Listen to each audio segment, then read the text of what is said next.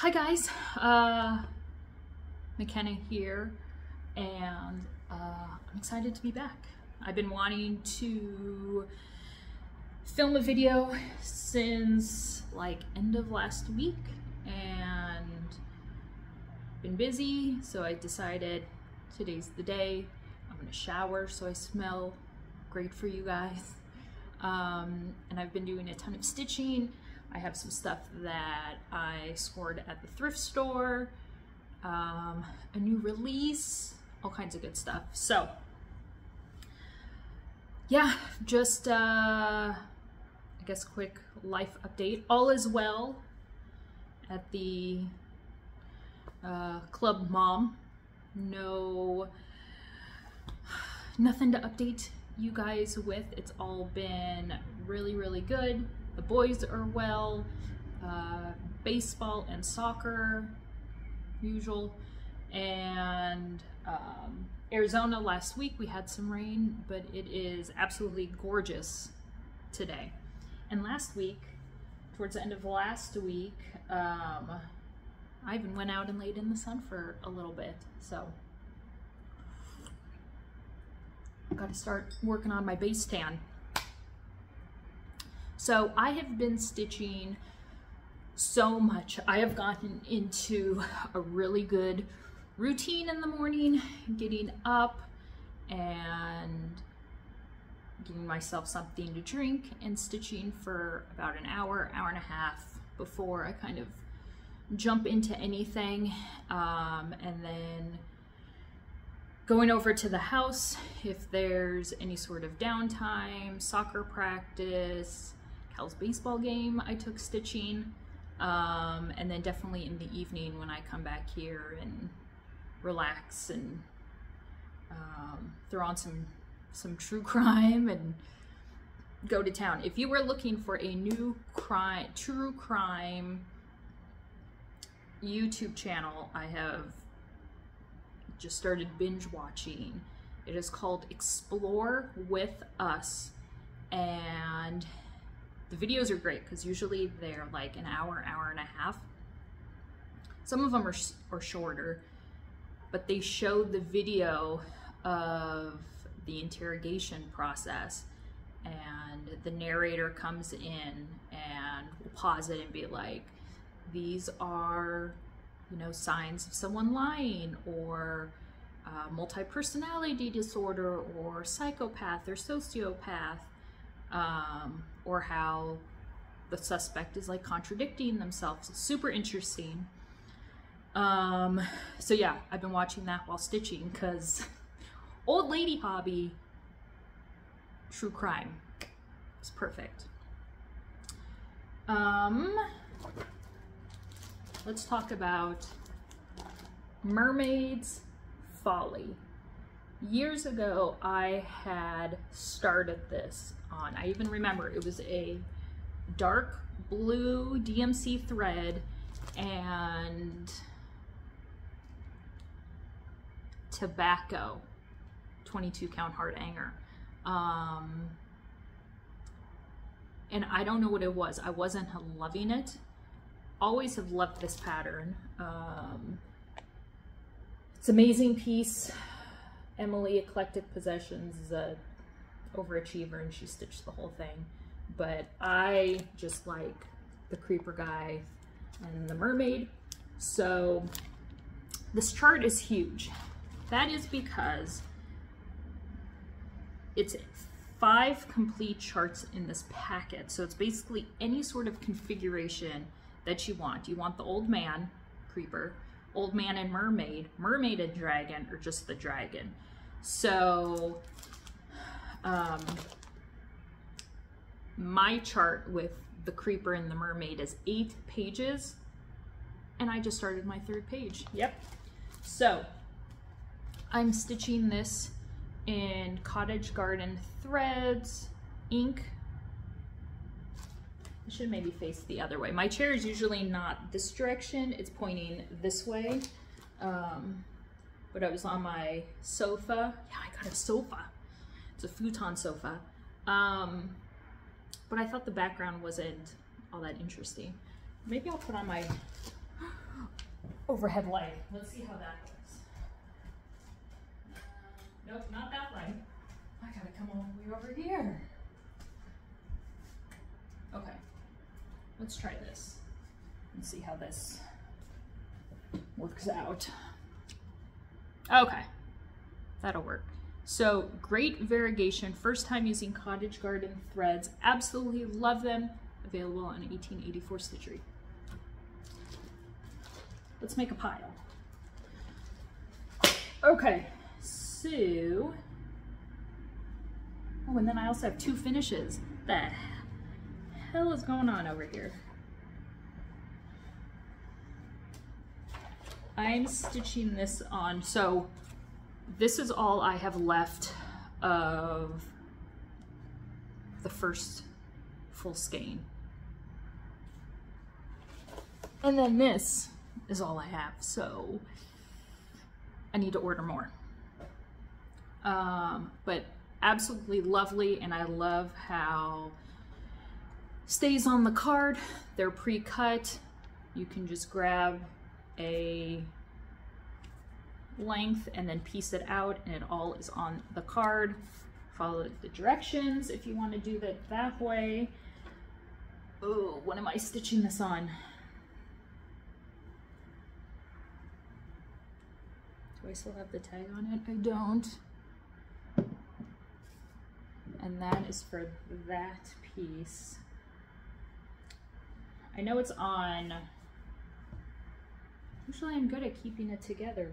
Oh, because the, the, um, this was from a larger piece and I just guessed and cut it down and left the tag on the other part.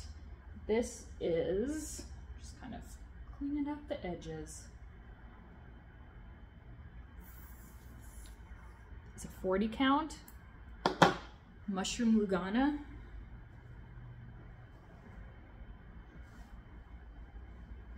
One over one tent stitch. So that's two pages. I mean, obviously I have way more than I'll need. Um, but that is where I am at. And I absolutely love how it is coming out. This is way farther than I got the first time around. Um, and you know, I have it in my Q-snap and usually the edges I'll fold over. Um, and then I finished page two and moved the Q-snap um, and so when I undid it and like set it down and came back and saw it from afar, I was like, oh shit. So yeah, love it. And this is the first time I have done anything in tent stitch. So I highly recommend tent stitch. Um, yeah, I'm pretty sure this is 40 count. I don't think it's 36. Maybe it is 36. I don't know. When I made a post when I started it, I put all the information. So um, when I first started stitching it, I was like, oh, I don't know. Am I going to like the coverage? I had to trust the process. I had to get a good amount of work in before I could decide that coverage is good, just give it time. Um, but it was definitely weird starting it and seeing all these half stitches. Um, not that I wanted to go back and make them full stitches, but it was definitely just, is this gonna turn out? And I definitely scoured um, Instagram, all the hashtags with, you know, tent stitch, half stitch, um, and tried to figure out what I like. And now I'm thinking, you moron, it's not 36 or 40 count, this is 28 count. I think it's 28 count. I don't know, I'm losing it. But no, I'm really, really happy with the progress. I was like just going to town on it. I can't believe I am now on the third page.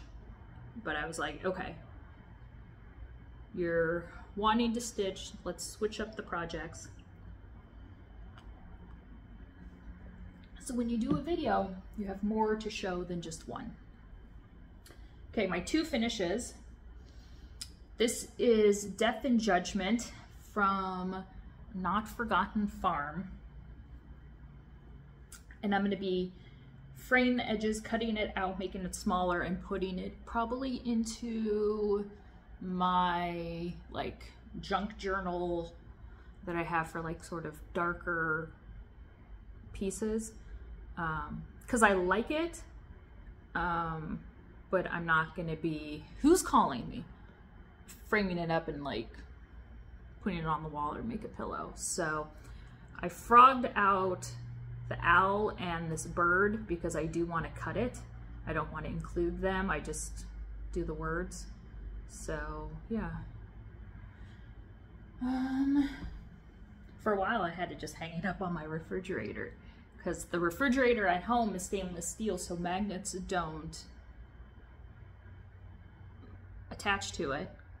Um, but the one here is magnetic and so like I have a picture of my dad and I on my fridge and then my grandparents and so I was trying to think where do I want to keep this little piece? I know I'm going to be doing a video soon threw it up on the uh, refrigerator this piece I don't think I even I posted once about it. Loved it. Miss Prim, Heart and Hand. Love the colors. Um, changed out a couple of the colors just because I didn't have like the overdyed, but I picked the ones that were close enough. Absolutely love this. I have a heart and hand tattoo and it already said 1884 on it, so I had to stitch it. I will definitely frame this up and hang it somewhere. I really, really love it. So yeah, Miss Prim, she is on Etsy. I have done one of her other designs, Hussy. um, yeah, great designs. Um, all right. So I switched from, I'll even take it out of the cube, or my hoop. Um, I wanted to change from Mermaid's Folly, wasn't feeling my ink circles piece. That's back in my decision realm. I know, Arlene, don't want to hear it. Don't want to hear it. Um, and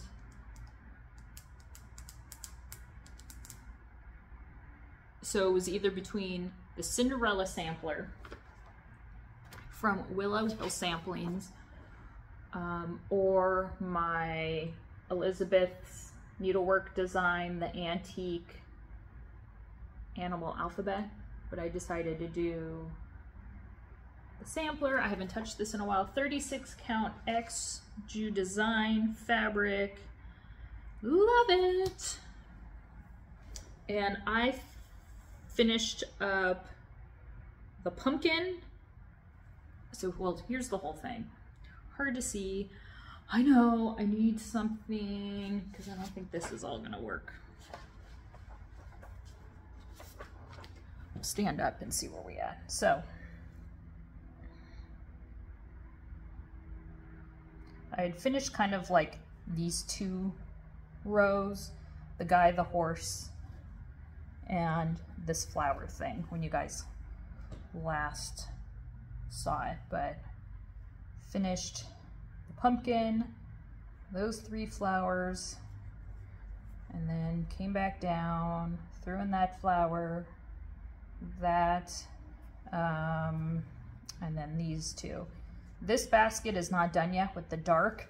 I was stitching on this during Ayrton's soccer practice last night in the car, and I'm pretty sure that color is in the car somewhere. So, because when I came home here last night and laid out all the threads, I was like, um, I don't see that color, and I know I was working on it at soccer practice in the car, so I'll find it. But yeah, there's this kind of open work piece. And I had totally forgotten to stitch in something. So I just stitched in my initials, MCG. But let's see, right. I love it though. I love the motifs and how everything is spread out. There is a border. Not gonna do it. Nope. Um. Okay. That goes there. I'm putting these here. So that is stitching that I have completed and done. Let's talk thrift store finds. I have not gone thrifting in forever, since I've been here at least, so three months. But I get like this urge every once in a while, like, you gotta go. You're gonna find something. Um, so had lunch with a group of ladies and decided to hit the thrift store nearby and so happy I did four um, lavender and lace patterns. This is Angel of Winter, Angel of the Sea. This one I thought was gorgeous. Fairy Dreams and Angel of Hope. So those will be going up on 1884. Always go through the frames. I'm like a frame whore. Love this. Two bucks. Um, and I just loved the carved look. Circular frames, don't sleep on them. And I can easily, it's, now looking at it, I think it's like hot glue gunned in. Nope, it's nailed. Um, but I can easily pop this out um, and use that. But I really, really like that. Probably not with the hanger, um, but I could probably screw in like one of the, those hanging teeth thing, hanging teeth backers, and then have this up on the wall. So grabbed that. Ever since Kelly um, made my jean jacket with the sampler on it, I'm even more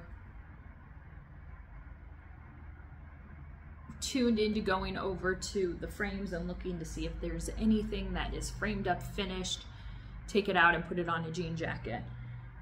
But then I've also been remembering to myself, well, if you do go, make sure you check out like the bedding, the blankets, which is usually not a section I check out, but swung by and I love it. The colors, the main background, the background color is black, so everything just pops. And it was $5.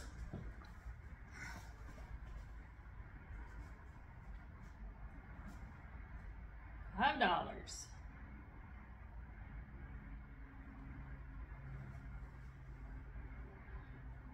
Granny Square quilt crocheted for the win. Five bucks. Absolutely love it. In the morning, I'm a little cold, but don't want to, you know, heaven forbid I put pants on or a jacket. This will be perfect. So, $5. Really? I mean, I saw this and snatched it up and sent her a picture of it. I couldn't buy it fast enough. So the four charts, the frame, and the blanket, 19 bucks. Not bad. Um, and it's always great because where I love to do my thrifting is White Dove. So all the money goes back into the nonprofit organization and it helps supply um, hospice care to people for absolutely for free. So stitching, thrifting, let's talk 1884. You guys are absolutely amazing. I have released two separate sets of Stitcher's surprise bags. Is that what I'm calling them? um, and you guys have responded amazingly. I was powwowing with Kelly. She gave me this idea. I had always thought about it and wanted to do it. I just needed to talk it out with somebody and get feedback and then do it. Um, I didn't just want to like make it a typical sort of grab bag style because I wanted to curate every single one. Um, so it's not like I was going to go to the warehouse. If you're new here, um, at the house where Joe and the boys are, I have taken over the spare guest room and made it my warehouse. Put up shelving so I can see all my inventory that I have not listed. And I go in there, call it my warehouse, and I go shopping when I want to put up new stuff for you guys. So went to the warehouse and was like, okay, let's just do 10 bags and see how they sell. Um, so went through everything and made sure I pulled 10 of all the same charts because then I could write down in the description these are the patterns by name you will be getting. Don't know the design, but at least you know, hey, I'm reading through this description. The first set of 10 bags I had had 17 items. The second set of bags had 21. Um, so it's like everyone got a piece of 28 count fabric. Everyone was guaranteed Mill Hill bead pit pack.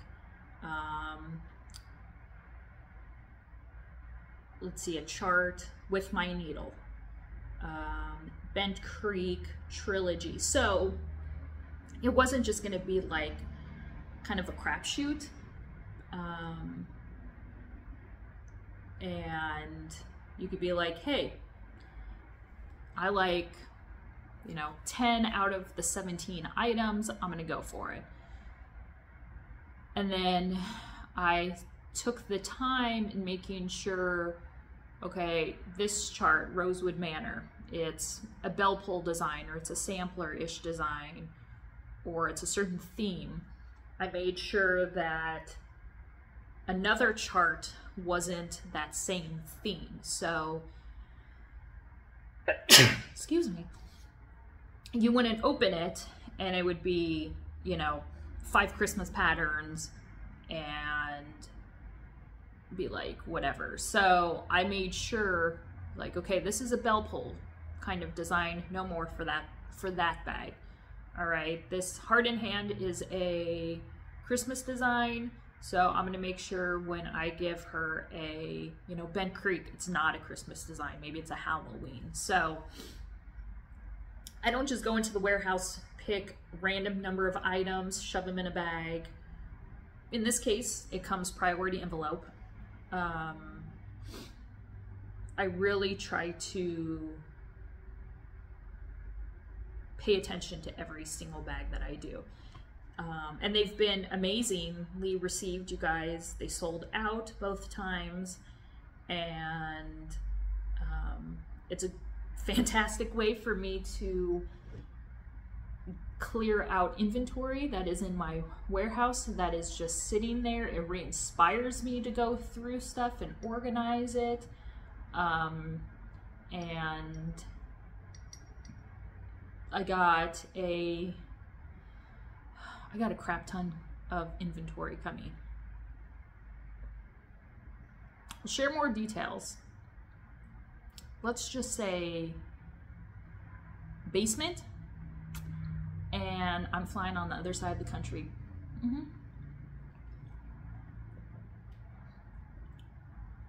So get ready. So maybe it's a good thing that in my living space here, I haven't put a whole lot of stuff because I have a feeling I'm going to be using a lot of my open space here for organizing and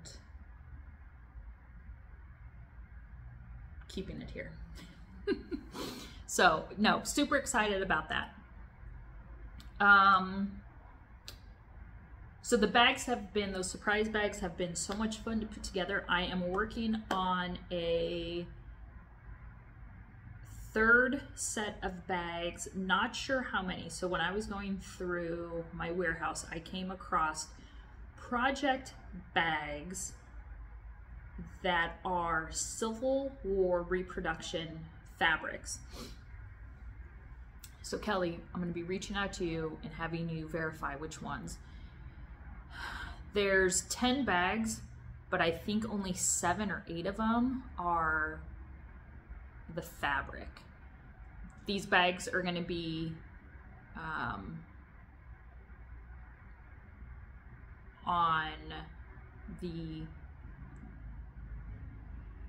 more expensive side because you get a project bag and then I am doing very high end charts. So um, these are going to be very very much curated well thought out collection um, but I am so excited to start on those. I was at the house yesterday and was going through stuff and Joe walks in he's like what are you doing? And so I told him about the bags and he thought it was a fantastic idea. Um, and he's like this is great because you can just go shopping in your warehouse and pull stuff and I'm like I know I know it's great so I brought back a whole box full of charts that I will need to sit down, go through, and then start making piles of what goes with what. So be on the lookout for that. Make sure you follow me on Instagram and Facebook for when those will become available. I will probably do a Instagram live and then make a post um, and pull one of the bags randomly and sort of talk about it so you know what to expect. And then I will give you guys a couple days in advance of a time and a drop date for those. I'm trying to think what else. Within the last month, I have received the go ahead to purchase not one, not two, but three more design companies. I am so excited. Two of them um, you guys are very much aware of, and Already sell those designs um, and have already released, re released some of those. Um, and the third one is probably going to be new to many, many of you, but absolutely gorgeous designs. More on the sampler side. Um, so excited about that. Obviously, more coming, so stay tuned. My last IG live that I did on Instagram, I do talk about those. So if you were on the edge of your seat and you want to know specifically which three companies, Instagram, my last live video, and I talk about those. I have not released a new 1884 stitchery only exclusive design in a while. Um, my girlfriend Arlene works by ABC, has been absolutely slammed getting ready for Nashville. Nashville's over, but then all the stuff that you have to do after Nashville. So she found some time. I send her my charts. She makes them look all pretty. And she sent me this one this morning. It was waiting in my mail. I printed it out and love it. And I hope you guys do as well. Do as well. I'll read the back. The sampler, with its unusual long, narrow shape, was made in Italy. I had to. The maker included her initials, M, N, F, on her work. She likely stitched her sampler in the first two decades of the 19th century as her sampler resembles other Italian samplers that are dated. Uh, the original sampler is in the textile collection of Colonial Williamsburg. All DMC. This is the MNF sampler. Now that I have my overhead light on, I will take it out. And that is what she looks like. And that is the original photo of the original. And I, I don't know, it's just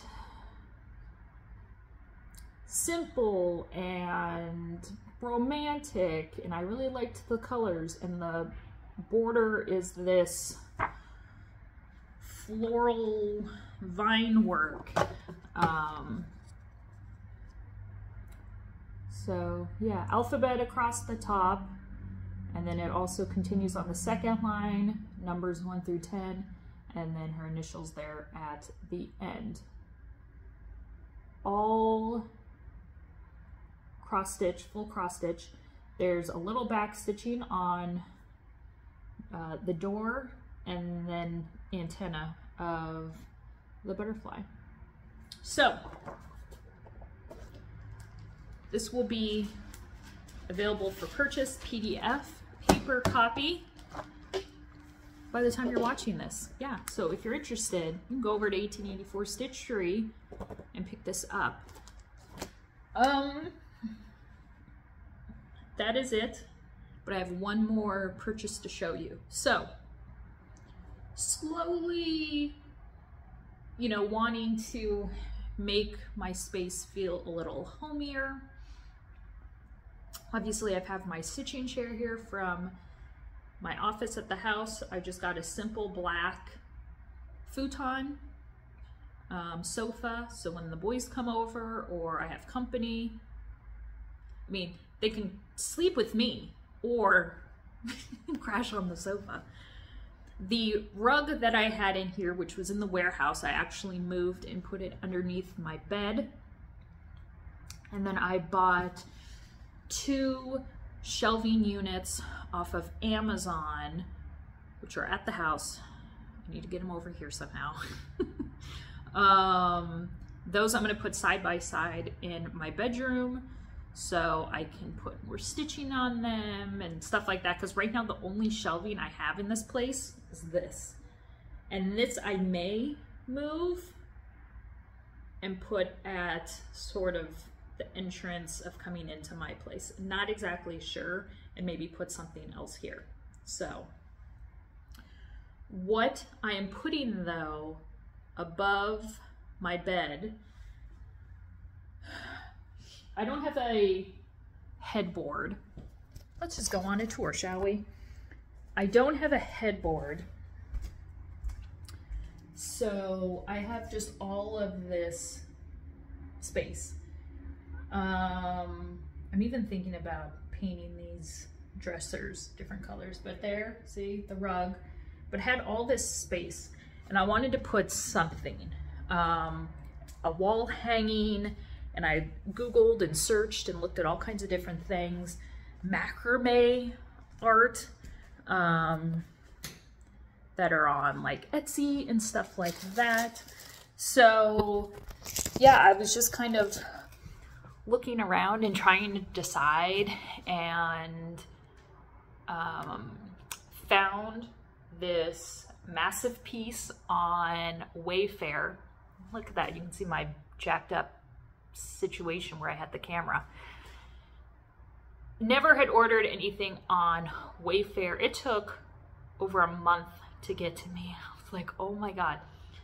So I'm going to show you. I absolutely love it. I can grab so many colors out of it. But when I woke up this morning, I'm thinking, God, do I want to hang it over my bed? Do I want it out here somewhere?